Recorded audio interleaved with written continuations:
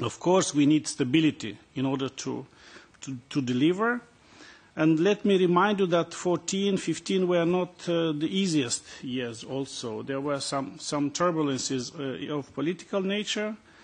And uh, I hope you'd agree with me that 16 uh, was a, a year of stability. Uh, the government uh, brought stability to the society. So we, we, we, we the, the previous, some previous speakers, including Dirk uh, Schuebel, mentioned the February 2016 FAC conclusions on Moldova, and then we had the roadmap, and of course we delivered upon these commitments uh, we had with the European Union, and, uh, and of course, uh, given that, uh, that we, we have fulfilled our agenda, we, we managed to deblock the uh, direct budget support from the European Union, but also, of course, from the uh, reaching an MOU with, with the IMF.